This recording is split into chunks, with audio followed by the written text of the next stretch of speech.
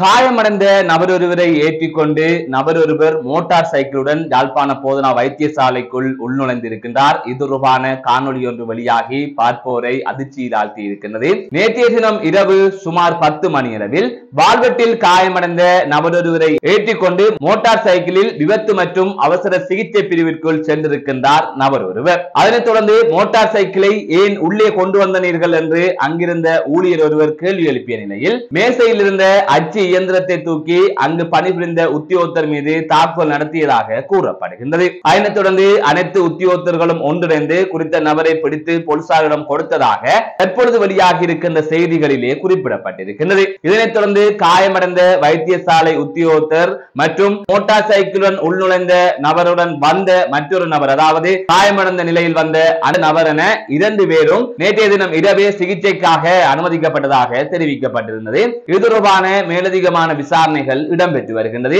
யாழ்ப்பாணத்தில் அண்மை காலமாக இவ்வாறான சம்பவங்கள் இடம்பெற்றுக் கொண்டிருக்கிறது மது போதையில் அங்கிருக்கின்ற காவலாளிகளுடன் சண்டையிடுவதும் அதேவேளை வைத்தியசாலைக்குள் சென்று வைத்தியசாலை ஊழியர்களுடன் முரண்படுகின்ற சம்பவங்கள் அதிகரித்திருக்கின்றது. அண்மையில் கூட மது போதையில் சென்று நோயாளர்களை பார்ப்பதற்காக உள்ளே விடுமாறு கேட்டு அடாவடியில் ஈடுபட்ட மூன்று பேர் கைது செய்யப்பட்டதாக செய்திகள் வெளியாக இருந்தது இவ்வாறு தொடர்ந்து அங்கு பிரச்சனைகள் இடம்பெற்றுக் கொண்டிருக்கிறது எனவே வைத்தியசாலைக்கு இவ்வாறு சென்று அடாவடியில் ஈடுபடுவர்கள் தொடர்பாக கடுமையான நடவடிக்கைகள் மேற்கொள்ள வேண்டும். நோயாளர்கள் சிகிச்சை பெற்று வருகின்ற நிலையில் அதனை குழப்புகின்ற வகையில் அல்லது அவர்களுக்கு தொந்தரவு கொடுக்கின்ற வகையில் வைத்தியசாலை ஊழியர்களுக்கு தொந்தரவு கொடுக்கின்ற வகையில் இவர்களின் செயற்பாடு அமைந்திருப்பதை ஏற்றுக்கொள்ள முடியாது.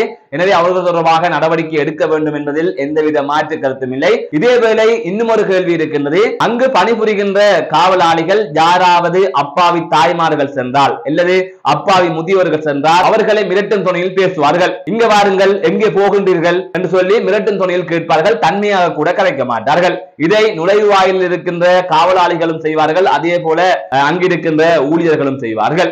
ஆகையால் இப்படியாப்பட்ட அப்பாவிகளை மிரட்டுவார்கள். ஆனால் இவ்வாறு அடாவடியில் வைத்தியசாலைக்குள்ளேயே மோட்டார் சைக்கிளில் செல்லுகின்றவர்களை எந்தவித கேள்வியும் கேட்க மாட்டார்கள். இவ்வாறு ஒருவரை ஏற்றிக்கொண்டு மற்றொருவர் மோட்டார் சைக்கிளை உள்ளே செலுத்தி சென்று அங்கு பிரச்சனையில் ஈடுபடுகின்றார். அதனை அனைவருமே வேடிக்கை பார்த்துக் கொண்டிருக்கின்றீர்கள். எனவே அப்பாவிகளை பார்த்து மிரட்டுவதும் அவர்களை கடுந்தொனையிலும் பேசுகின்ற நீங்கள் இவ்வாறானவர்கள் வந்தால் மட்டும் ஒதுங்கி போய் நின்று விடுவீர்கள். அவர்கள் ஏதாவது செய்துவிட்டால் எங்களுக்கு பிரச்சனை என்று. ஆகையால் நீங்கள் செய்கின்ற செயற்பாடு தொடர்பாக நாங்கள் விமர்சனம் சொல்ல வரவில்லை.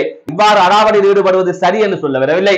அவர்கள் மீது நடவடிக்கை எடுக்க வேண்டும் என்றுதான் சொல்லுகின்றோம். ஆனால் வைத்தியசாலைக்கு வருகின்ற அப்பாவி பொதுமக்களுடன் கொஞ்சம் தன்மையாக கதைத்து பேச பழகுங்கள். மீண்டும் ஒரு காணொலி சந்திக்கின்றேன். நான் நடராஜ் ஜெயகாந்தன்